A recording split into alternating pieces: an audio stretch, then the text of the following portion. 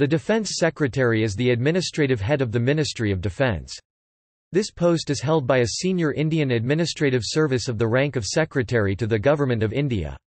The current Defence Secretary is Sanjay Mitra. As a Secretary to the Government of India, the Defence Secretary ranks 23rd on Indian order of precedence.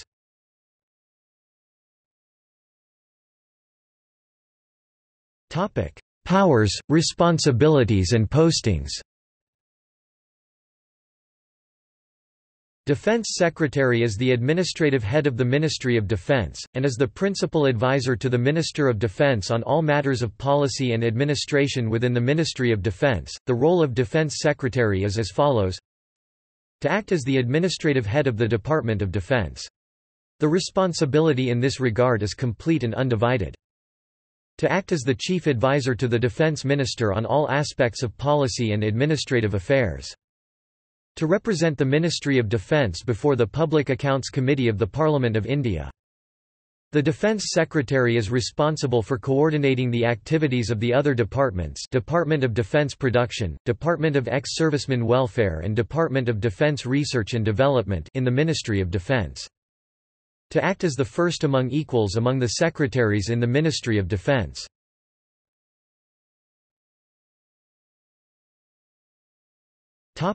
Emolument, accommodation and perquisites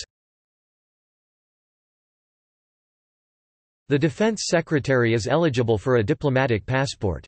The official earmarked residence of the Defense Secretary is 9, New Moti Bagh, New Delhi, a Type 8 bungalow. The salary and emolument in this rank is equivalent to Chief Secretaries of State Governments and to Vice Chief of the Army Staff, commanders and officers in the rank of full general and its equivalents in the Indian Armed Forces.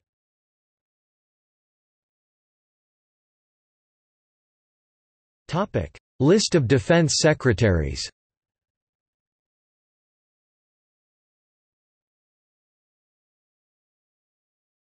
Topic: See also. Cabinet Secretary of India. Home Secretary India. Foreign Secretary India. Chief Secretary India